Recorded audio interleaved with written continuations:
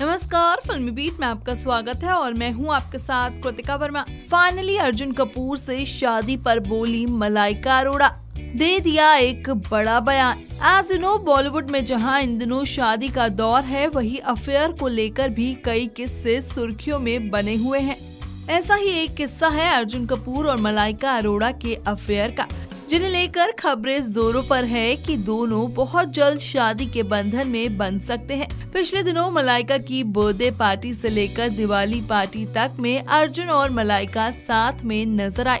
मलाइका ने एक अखबार से हुई बातचीत में अपनी इसी रिलेशनशिप को लेकर बड़े खुलासे किए, जिसे सुनकर आप भी काफ़ी हैरान हो जाएँगे। दरअसल, इन सभी खबरों पर मलाइका ने कहा कि वो बिल्कुल बेफिक्र है और उन्हें ऐसा लगता है कि उन्हें उनके बारे में चल रही ऐसी किसी बातों से फ़र्क नहीं पड़ता है। हालाँकि मलाइका के अच्छे दोस्त करण जौहर अपने चार्ट शो में उन्हें इसे लेकर छेड़ भी चुके हैं। आपको याद ही होगा कि हमने कुछ दिन पहले आपको बताया था कि जब करण जौहर के चार्ट शो में आमिर खान पहुँचे थे तो उसी दौरान मलाइका भी शो में बतौर स्पेशल गेस्ट के तौर पर पहुँची थी। और इस शो में जब मलाइका ने एंट्री ली थी तो करण और आमिर दोनों मलाइका को रिसीव करने के लिए गए थे। और इसी दौरान करण जौहर ने कहा था कि मलाइका, ऐसा तुम्हारे साथ रियल लाइफ में भी जल्द ही होने वाला है। तो इस पर मलाइका ने करण को चुप करवा दिया था।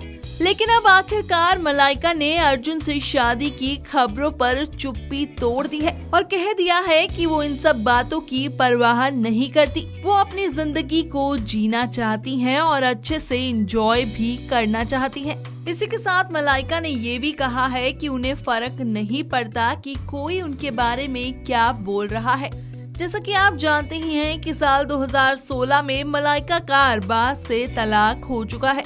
यहाँ तक कि अरबाज और मलाइका के डिवोर्स की वजह भी अर्जुन कपूर को ही माना जाता है। इतना ही नहीं, अब तो मलाइका अर्जुन के साथ खुल्लम खुल्ला डे आउट और नाइट आउट पर निकल जाती है। वही मलाइका के शो इंडियाज गॉड टैलेंट में भी अर्जुन कपूर इस तरह पहुँचे कि दोनों ने सबके सामने एक दूसरे का हाथ थाम लिया। और तो और इंडियाज गॉड टैलेंट के मंच पर इन दोनों ने हॉट डांस भी किया, जिसे देखकर हर कोई शौक रह गया।